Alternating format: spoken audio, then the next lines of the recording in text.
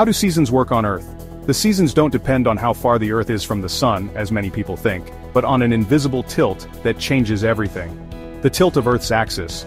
Earth spins on its axis, which is tilted about 23.5 degrees relative to its orbit around the Sun. This tilt is the key to the seasons. Earth's revolution around the Sun. Earth takes about 365 days to complete one orbit around the Sun.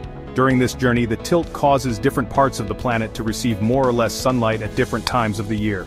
How seasons are created. When the North Pole is tilted toward the sun the Northern Hemisphere experiences summer, more daylight, higher sun, warmer temperatures, while the Southern Hemisphere has winter. Six months later the situation reverses, summer in the south, winter in the north.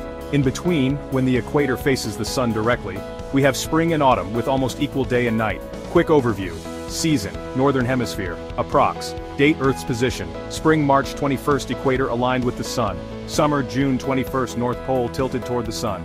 Autumn September 23rd equator aligned with the Sun. Winter December 21st South Pole tilted toward the Sun. The seasons are the result of a magical 23.5 degrees tilt, and Earth's constant orbit around the Sun.